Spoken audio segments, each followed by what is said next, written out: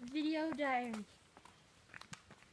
I didn't make it to the top, but kind of made it far. This is what we see. I made it to the top. Yes, good job. But I did not. I stayed back and saw a salamander. I flexed the top. Did you? I did. I was like highest bodybuilder ever.